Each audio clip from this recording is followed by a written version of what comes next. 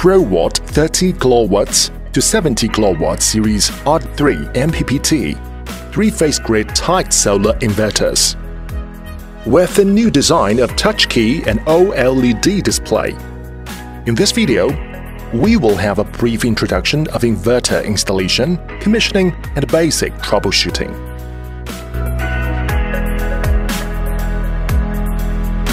Tools we need to prepare electric driller, hammer, pliers, cross screwdriver, flat screwdriver, multimeter, etc.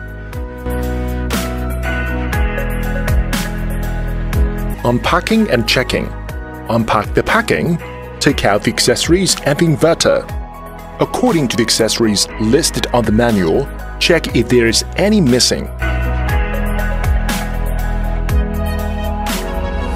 Follow the installation manual to drill holes and hand the inverter to the wall. Do not forget to screw the safety screws firmly. It is required to install the inverter under a shelter, avoiding direct sunlight and rain. Please choose the eligible cables for wiring. On the user manual, there is a table of cable requirement. It has the specification of cables required.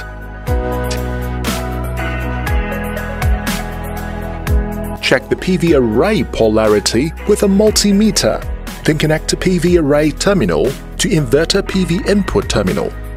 Please note, the startup voltage for 30 to 70 kW series inverters is 250 volts. Inverter will not generate PV power if the strain voltage ampere is lower than 250 volts. For PV connector assembly, please refer to SP2000 installation video. Put the wire terminal to the lid, use crimping pliers to tighten it. Put the cable into the AC protection cover and then screw the five standard wires into the relevant terminals.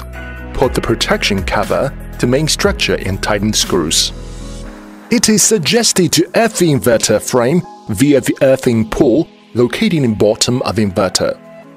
There is a USB port and one RS485 terminal on the bottom of inverter. We suggest the solar system be monitored by Growatt Shine Wi-Fi X module or Shine Master. Remove the USB cover from inverter, then put the Shine Wi-Fi X module to the USB port. The monitoring system allows customers to check data on mobile, panel computer, laptop, wherever have internet access. Moreover, it is also able to adjust inverter parameters and even upgrade inverter firmware remotely.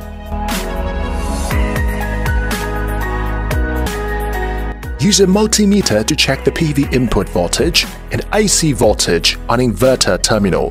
Make sure they are correct, then switch on the inverter DC switch to startup. 1. Waiting status Inverter has powered up with a solid green leaf indicator, but won't start generating while PV voltage is lower than 250 volts. 2. Normal status Inverter is operating normally with a solid green leaf indicator. 3. Warning status A warning occurs, inverter has a blinking red leaf indicator, but won't stop generating. 4. Fault status a fault occurs and inverter stops working, leaf indicator stays solid red. There is a touch button on inverter display panel, allowing users to proceed human-machine interaction and is easy to operate. Single touch, shift and plus, double touch, confirm and set, triple touch, back and exit. When inverter goes into normal status after startup, the main interface on LCD screen will be showing inverter basic operating information. Current power, daily yield, total yield, PV1 information, PV2 information, etc. in cycle.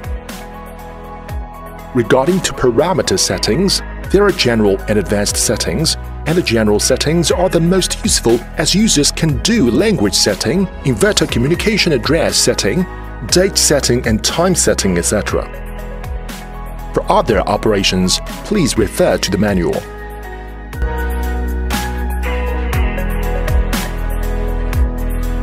Warning is a general running alarm. It will not affect the inverter's power production.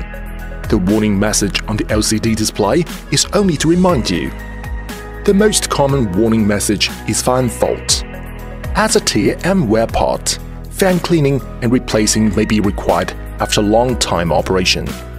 For outdoor installations, we suggest cleaning for fans semi-yearly. Switch off inverter DC switch, AC switch. According to different model, unscrew the inverter protective part firstly. Unscrew the fan cover screws. Disconnect the fan cables. Take off fans. Use wet towel to clean it. Replace faulty or damaged fans.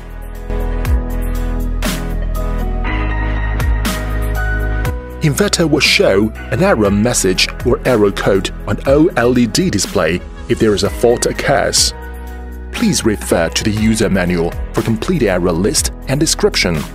There is also a detailed troubleshooting guide available on Growatt's website.